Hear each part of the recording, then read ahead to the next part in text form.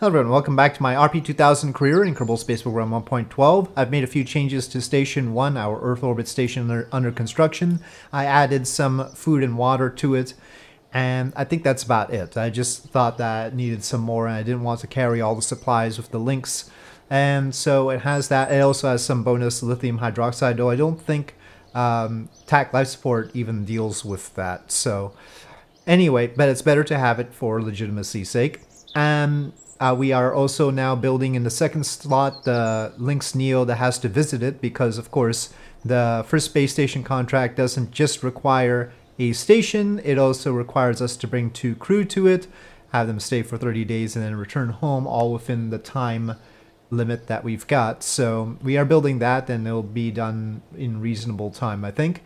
And so that's that. We'll just have to wait for those. So we'll just move on to doing the maneuvers for the orbiters, and I think they are going to arrive at Mars before we actually have to deal with the station. So let me get to that.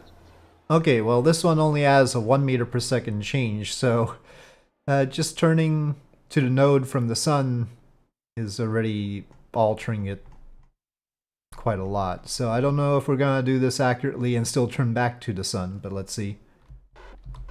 Oh, uh, no, no, no, no, don't follow the, don't follow it. Oh, gosh.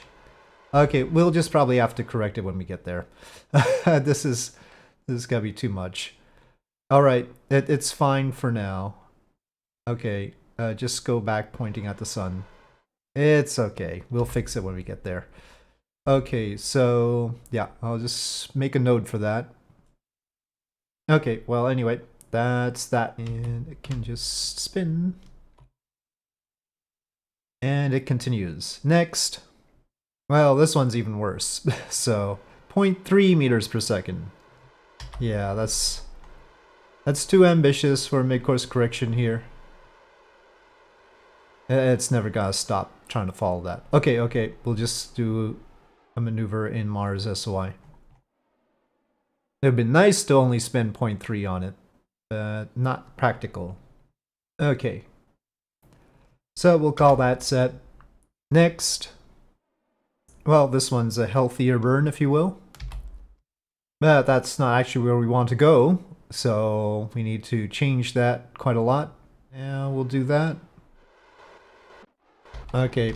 Alright, alright. Just point at the sun. Pretty nice though. I mean, 80 meters per second we're paying though. It would be a trivial amount of delta V from here, but too touchy. Okay, that's set up. Second to last one now. Just gonna set kill rotation this time. Much safer. Okay, but still have to go towards the sun. This one, interestingly, cannot get perfectly in line with the target orbit. But it's a goo one, so wasn't meant to particularly do the position a satellite in a spe special orbit or a stationary orbit of Mars. It was meant to do the orbital survey. So that's fine. Okay, last one. I decided to actually try the science with this one, and we haven't actually done the magnetometer scan from around the sun. So doing that, and the radioplasma wave scan, and I guess some visual observations. Okay, but this one has a big old burn to do. Well, compared to the others anyway. Seems like the plan is right. Actually using the engines for this one. Okay. Uh, turning to the sun. And then I'll get a correction over there. Uh, let's wait until it settles and this will be the first to arrive. Okay, but before we take care of those five arriving at Mars, we have to do the mid-course correction with the Jupiter mission. Hopefully it's still capable and not like out of power or something. Ah, not actually a mid-course correction, my mistake. This is a maneuver when we're getting into Jupiter SOI to make sure that our positioning is good once we reach there, so it does seem like it has a line back, but it's getting red there. We'll see. 70 more days until it arrives into Jupiter SOI. Okay, as usual, we have to orient better for sunlight. We can do some science. Magnetometer. So we've got science high over Jupiter. I should have picked up the Jupiter flyby thing, but I didn't. I didn't. Do we need to do a correction? Well, I mean, specifically no, because we don't have the contract. But maybe we should demonstrate that we can do the contract. And maybe get some science out of the moons. But we only have 466, so we have to be careful. Okay. We will do this. There was supposed to be a potential like Callisto flyby on the way in, but I don't think I'm gonna hit that now. That's a little bit off from the plane of all the moons.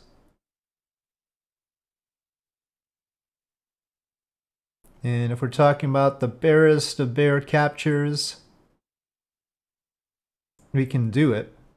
Let's turn to the sun though. We're going. Ah, uh, it's all gone haywire. Anyway, we'll plot that once we get to uh, to periapsis. Yeah. Okay. Yeah, just barely enough to maybe capture around here. Let's give ourselves maybe six hours before that to pay attention to it. I don't know how good our line back will be. Maybe it'll be good enough. But we've got some science already. So we'll see what else it can do. Alright, so here we are. First probe arriving. And ignition. Yep, can't use that. Ignition. Alright. That should set us up fine. And now we have to see about capture. The last time we lost communication, and it sure looks like at periapsis we're going to have the same trouble. So I'm going to do the capture burn earlier, even though it's going to be not great. Then we're going to have to do a bit of a radial thing. Gonna try and get it in line and everything. Okay, so that will leave us with a periapsis outside the atmosphere, and it's over here, so it shouldn't be blocked by Mars. Let, uh, well, we seem to be charging up, though... That's not the best orientation for that. Comms are fine, but this still has, like, the Jupiter level comms. Let's get some science. Maybe I shouldn't do this here, but... Oh, the orbital science survey parameters were complete for... Oh, that was one of the parameters, right? So it doesn't matter that we do it all with the same mission, I guess. Oh, it says conduct an orbital survey of Mars is done. I thought I needed a goo. I could have sworn it needed a goo. Now, I didn't deal with the DMagic Orbital Science contract, so it's not my fault. I, I don't know. I don't know why it completed. I don't understand the contract system very well. Oh well, that says I'm done. Yeah. Not great trying to create. I just I know what I want from a career mode. It's just that nobody's gonna make it for me, so I have to deal with the fact that I'm not good at the contract system. Well, one of the CubeSat batteries had a short circuit on here. Yeah, okay. Uh, if we stay focused on it, it's going to have more of those failures. Unfortunately, our burn is right when the other one's coming in. But we'll get this one done first. Okay, yeah, that one is coming in. I'll just leave that alarm for now. Definitely a legit probe. Yep, new science, because we're near Mars. Okay, ignition. That's probably uh, more than good enough capture. Yeah, we don't need it all the way down there just yet. Okay, we have captured into orbit. And we could try to get into this higher orbit, so we might as well. Looks like a good match. So I'll plan that out. we can knock that out, it'll save us a lot of trouble, and we can focus on getting extra science from Phobos and Deimos with the other probes. But we also have to locate it right above a certain location. Okay, so I'll add that alarm, and we'll focus on it in four days, but let's get to this mission arriving. Oh, well. Well, it's pretty well oriented for sunlight right now, so I don't think I need to do anything with that. We'll just leave that be. Okay, correction. And this should get to periapsis before we have to deal with the next one. Doing the same capture deal a little bit earlier. And we'll still prep for that target orbit, I guess. Though this one, this one would have a hard time with that. Either way, they're going to have an interesting time trying to get to Phobos or Deimos. Maybe the two later ones, or three later ones, will be better for that. I'll take that for now. Again, a little bit earlier than Periapsis, not quite as efficient, but for comm's sake. Okay, there's Mars. Let's go. Don't think we can do anything new. Oh, no, the orbital telescope is surface biome dependent, so we did get something there. And ignition. Okay, we've captured. And that's good enough for now. Definitely. Uh, actually lower than the last one. Still out of the atmosphere. And we'll plot the same kind of thing, but I mean, it's fine to set it up like that because we've already fulfilled the goo thing, and the goo thing actually didn't care where we were going. And we probably want this as a ComSat. The other three we'll think about getting to Phobos and Deimos. We'll do a correction for them when we get inside Mars SOI for that. So, uh, that will be an initial burn for this one. And I'll get that alarm. Okay, back to the first one we captured so that we can see if we can fulfill the stationary orbit of Mars contract. Well, somehow this ended edge on to the sun, even though I definitely left it pointing at it. I'd like it to remember the sun fixed orientation more than anything else. If I mean, I'm sure it remembers some orientation, but that's the orientation that I want. Is a thousand meters per second gonna be enough? Okay. So yeah, what is it gonna take to get down to that orbit? Oh, uh, Okay, delete on close. It disappeared on me. What? No! Still there there, but it's not showing me the orbit. Um, well, we can look at that, I suppose. And in zero degree inclination. Right now we're at a 1.3, so we'll have to tweak that a little bit. And we have to be above an area that's not even showing me anymore. What, what is it trying to do to me? Hold on, let me go to, let, let me add this alarm, but I'll go to the tracking station and come back and see if it's going to show me that, that orbit and that location. Otherwise, we're going to have some problems around here. Okay, it's showing it to me. Yes, it is. All right, good. Keep doing that.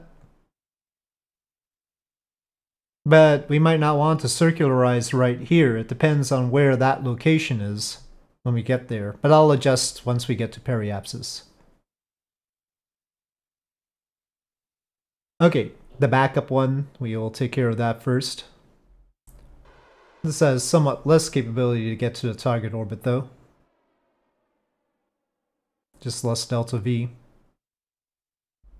I think we went a little bit too low there. This will actually get to periapsis first. Okay, the other one's in a higher orbit and a longer orbit, so let me just uh, let me just point this at the sun. I guess we'll try it. Again, depends on where that surface location is. Okay, there's that location. This is not going to be directly above. So we'll want to go into a slightly slower orbit. Hmm, we're also a little bit low on this side. Does that look like two hours? I don't know how precise they want me to be. Got two goo containers over here. Well, might as well transmit the stuff from one. Okay, ignition. Uh-oh. Ignition failure on one of them. Well, that's actually alright. We actually have a trash part option too, if we want it. I guess USI must have added that. I don't know what else could have added that. This is why we had three engines in the first place. Okay, this is just sort of an estimate sort of deal. Need to boost up there to try and match that orbit. Inclination wise, we're within one, so hopefully that's okay. Okay, well, uh, at Apoapsis we'll do that a little bit, but we need to go back to the other one and see how that's going. Oh, oh, and how's the sunlight? Sunlight's very good. Okay. Well, this one is off by quite a lot. And maybe we'll just stagger it and plan for it to be just a ComSat and have the other one do the main deal. The other one has a tighter delta V situation, so you'll see. Ignition. Seems like that's a third of the way through, so if we gave this an extra four hours, eventually it'll catch up. Okay, so this will be in a somewhat higher orbit than even the other one, and we'll leave it be. It's currently pointing at the sun, but it's tough to say what orientation it'll end up with. Okay, but it's situated. Let's go to the other one and try to fulfill the contract with that, and then use this as backup. 65 meters per second is not a lot. I swear we had more, but that should be okay. I'm just gonna let it flop, how about that? Seems alright. I don't want to use extra fuel, that's all. Seems just about over it. I don't know how precise they need this thing to be. I'm gonna guess that that's okay. But it probably has to send me a message like you are over the target. Well, it's checkmark that though. Okay. So we'll trust that that's okay. We just need that retro Okay, gotta try and get it over there. Not using too much fuel. Alright, ignition. Is it already satisfied? No, it isn't. Okay, now it's satisfied. Maintaining stability. And it is done. Okay, so, as far as Mars con is concerned, next thing is to get science from the surface, which I probably, I mean, I feel like they didn't pay me enough. But anyway, this is a ComSat now. It's facing the sun. We'll have it rotate. The other one will also be a ComSat, but in a different position. And I don't uh, let me just make sure it's rotating and getting sunlight, but I don't think I'm going to try to bring it into a circular orbit around here. And the others are going to aim for Phobos and Deimos. If I turn SAS on, it's going to stop spinning, but I don't know whether it'll hold the orientation, so i just try spin orienting and keeping it this way. I don't know which way is best. Maybe SAS would hold it to the sun. That is how the old persistent rotation did it. Okay, I'm gonna go to tracking station and wait the 19 days and we'll bring those two in. And then next time I'll do the Jupiter mission and then that one, but also get them to Phobos and Deimos. But let's get two more orbiters in in this episode. So we need to do something completely different with this node. We need to get to a Phobos slash Deimos sort of situation. which will actually cost us less. Oh, I'm doing the capture right at Periapsis. No, let's do the same thing we did before. Right, a little bit earlier. And that's costing a lot less because the later arrivals are coming in slower, and since they're coming in slower, they take less delta V to capture. Okay, but we've already passed that maneuver. Oops. Okay, well, the capture burn for this is after that one comes in. So we should do the correction for that first. Gotta juggle these things. Alright, hopping to the other Mars orbiter. Darn, I should have numbered them or something. Oh, this one doesn't have enough power. Okay, hold on. We're going to have to reorient it. Okay, it's got the power. Let's go back to that. Okay, I've corrected the correction, so now it's aiming for Phobos and Deimos. And that actually costs more with this one. Time warp is a little bit weird sometimes. And ignition.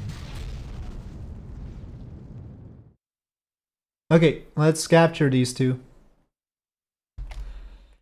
Okay, and ignition. Probably I could have done this much closer to Periapsis, but this is alright. It's not costing too much or anything.